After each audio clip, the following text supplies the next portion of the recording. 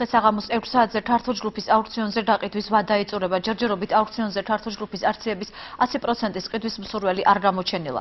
ქართულ ჯგუფთან ერთად იძულებითი წესით იყიდება ქართულ ბანკი ასევე შენობა ნაგებობები, სადაც ტელეკომპანია მეცხრე არხია განთავსებული და სხვა უძრავ-მოძრავი ქონება. რა სიახლეებია აუქციონის დასრულებამდე 3 საათით ადრე ბოლო ინფორმაციით პირდაპირ ეთერში ვთავთ იმედა დარსალიას იმედა გამარჯობა.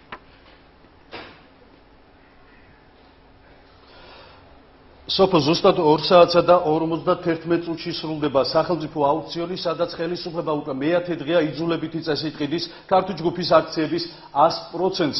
იმ მიზეზით, რომ ის თითქოს ბიძინა ივანიშვილს ეკუთვნის, თუმცა ოფიციალურად ვიცით უკვე, რომ ეს აქციები, ამ აქციების 100% არ ეკუთვნის ბიძინა ივანიშვილს და ის არაფერ შუა შეერთ ქართულ ჯგუფთან, რადგან ქართულ ჯგუფის აქციების 100%-ის ფლობელია 14 უცხოური და 2 ქართული კომპანია.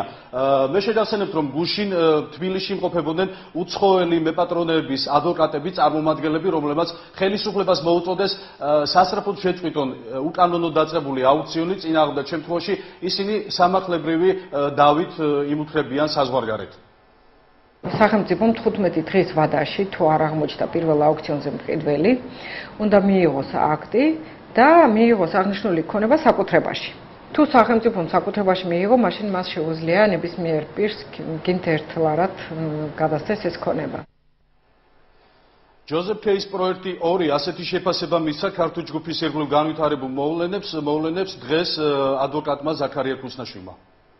აპირს ედავებოდა და ბეპირს წაართვა ქონება. ეს როგორ შეიძლება, როცა ყოლა ხვდებით, ბავშვებიც კი ხვდებიან იმას, რომ უნდათ რომ ნოდარ ჯავახიშვილი გამოიყვანონ იმ ბანკიდან და შეიყვანონ ვიღაც ჯოზეფ კეი 2. აი გარ მთელი მაგ ჩანაფიქრი რა თუნდა მაგას პოლიტიკოსობა და იურისტობა.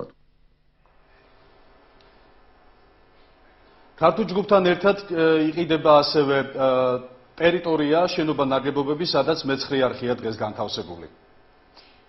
დიდი მადლობა. პირდაპირ ეთერში მე და დარსალია საუბრობდა ჩვენ ამ თემას მომდენო გამოშვებებში საუბრობდები